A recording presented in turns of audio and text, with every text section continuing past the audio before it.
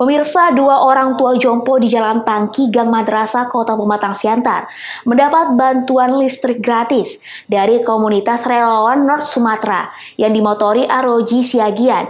Bantuan listrik gratis disalurkan atas usulan pimpinan redaksi Evarina TV. Berapa tahun? Jalan 6 tahun.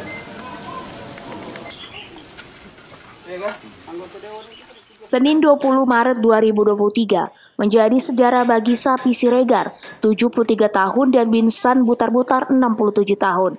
Mereka mendapatkan bantuan listrik gratis dari komunitas relawan North Sumatera.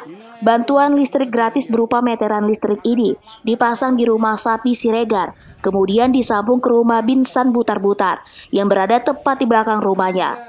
Bantuan yang diberikan tim komunitas relawan Sumatera yang motori Aroji Siagian sebagai Direktur Eksekutif dan Joni Damanik selaku Ketua KRNS Simalungun merupakan usulan pimpinan redaksi Evarina TV Eko Hindriawan. Aroji Siagian mengaku satu minggu sebelumnya mereka mendapat informasi dari pimpinan redaksi Evarina TV bahwasannya ada orang tua jompo di Jalan Tangki Gang Madrasah Kelurahan Nagapitu, Kecamatan Siantar, Martoba yang cukup memprihatinkan. Enggak, Hanya dari sana lego. bahasa. Di sini ada orang yang miskin di sini nggak ada listrik kok nggak Bang Randy yang turun. Di mana selama ini keduanya belum pernah menikmati penerangan listrik dari PLN. Mendapat informasi tersebut, dia langsung survei lapangan.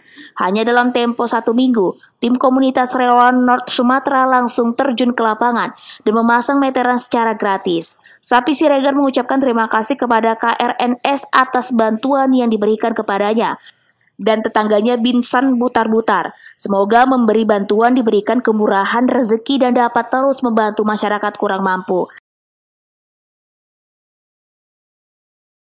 Saya merasa bangga Pak dari Bapak Ketua KRNS yang telah memberikan penerangan untuk di rumah saya. Selama ini saya memakai lampu lampu teplok Pak. Jadi saya merasa bangga ini hari. Ya saya mengucapkan banyak terima kasih. Saya bilang terima kasih banyak kepada KRNS. KRNS. Semoga KRNS selalu jaya selamanya dan dapat membantu orang lain dan dapat membantu orang lain. Selain bantuan meteran gratis, Nyonya Aroji Siagian juga turut memberikan bantuan sembako berupa beras, minyak, dan gula.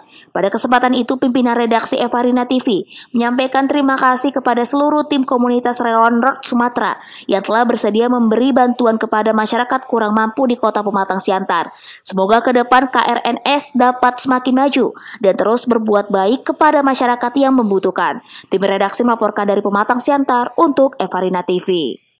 Salam salaman aja, salam salaman. sini kita Ya, Saya set dah. ya. Oke,